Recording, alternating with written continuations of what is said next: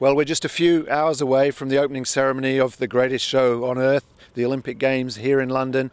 And around us, the preparations are just reaching that final point of perfection here for the canoe slalom events, which start on Sunday with the heats of the C1 and K1. Today, the last day of training for the athletes, and you could see them feeling their way really, uh, I suppose, saying goodbye to the course before they get into the real spirit of competition. LOCOG have done a fantastic job in preparing the venue for this competition. Everyone's been very friendly. The athletes have had, uh, I suppose, the best conditions that they could could hope for to prepare for their performances here. So what's left in front of us is just the competition. Tomorrow will be the demonstration runs where they'll get to see the course that they get to race on uh, in the coming days, and that course will be set by uh, Thomas Schmidt, Schmidt, the 2000 Olympic champion, and Marianne Agulhon from France, guided by the chief official and chief judge Jean-Michel Pronot of France. So a great uh, racing prospect. It will be interesting for all of the teams to see that course because they've been training long and hard for years now